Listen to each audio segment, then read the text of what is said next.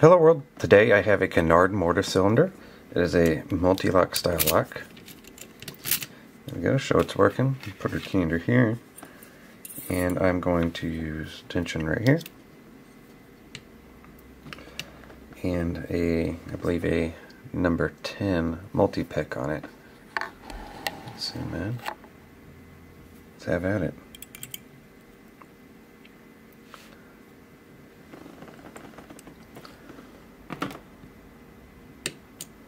Outside pin 1.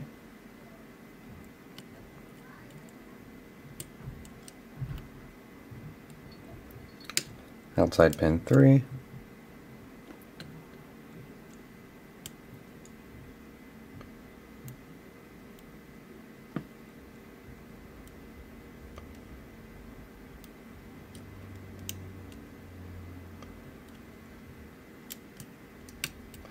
There we go. There's outside pin 4. I believe we just got pin 2.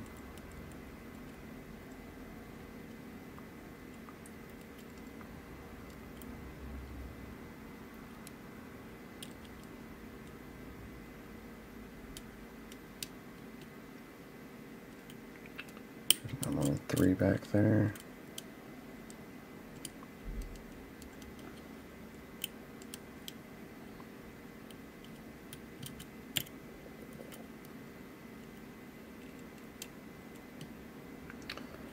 Again, the tension on. Like the inner of two.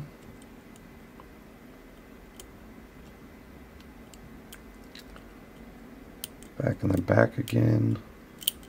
Get fully set. Switch picks here. Make it a little bit easier, a little bit bigger pick.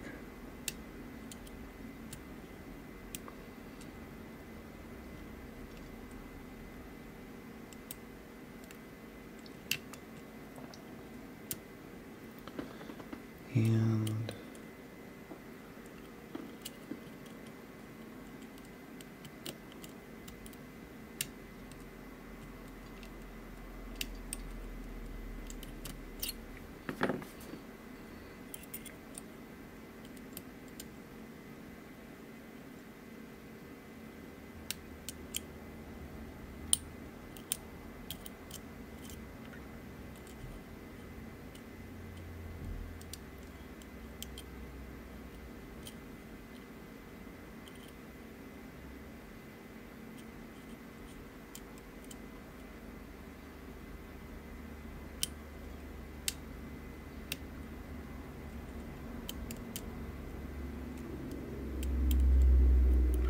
It's not one.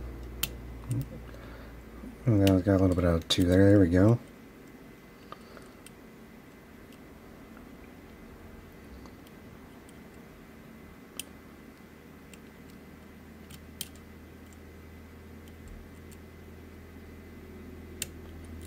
Go, got the inner one set.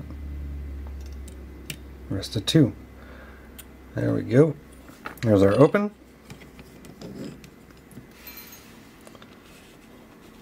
Set that up there. well, move our vise. Zoom out. Our here's our key. Get the focus there. At it more in just a second. Let's get this gutted. Here's our stuff.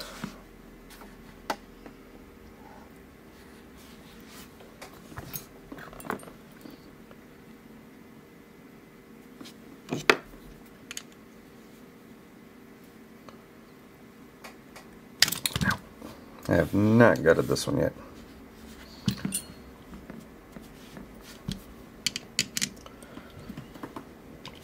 Well, okay, it reset itself, so that's okay. Let's say, we'll go ahead and just use the key on this.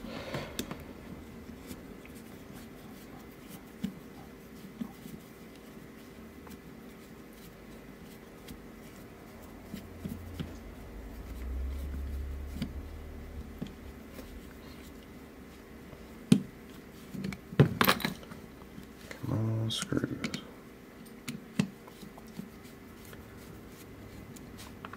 Go. Set that one off.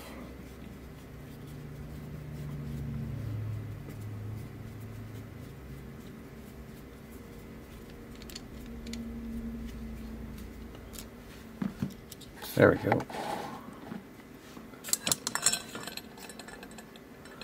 Okay, so out of principle, trying to use shims more just to make sure I don't have any mishaps. So we're gonna get one out.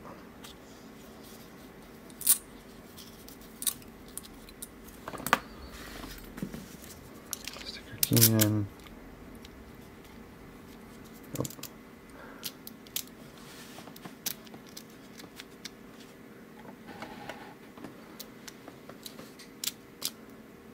Right. Come on, where's the end? There we go.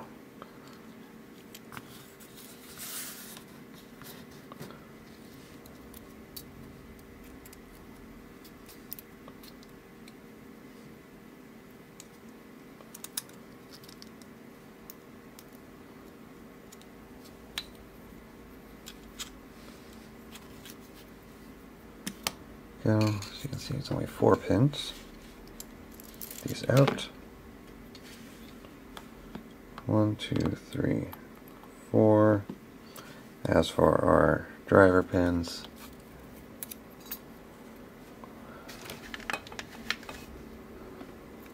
have one,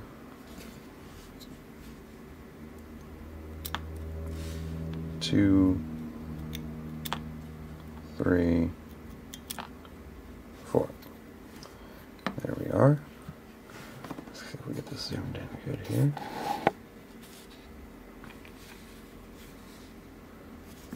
So,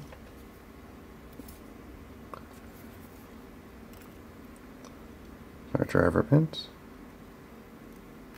right there, and our inner pins down here, or our key pins down here with their outer and inner pins. There we are.